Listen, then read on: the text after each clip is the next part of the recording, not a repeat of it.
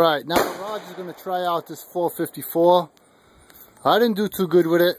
He's going to try standing up. And uh, hopefully he does a little better than I did. There's a target right there. Let's see what he can do with this thing. Oh my god, don't fall down. Drop my gun, I'll kill you. He's shooting the same 300 grain XTP. They kick pretty hard. Well, fun.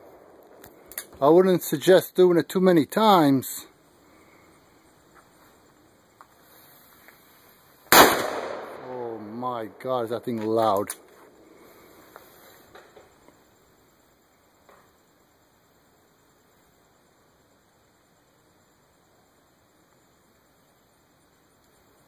It takes his time, but I don't think it's helping him too much.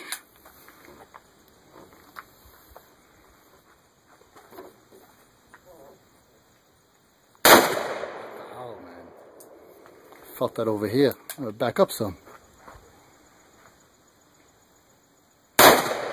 This, my God.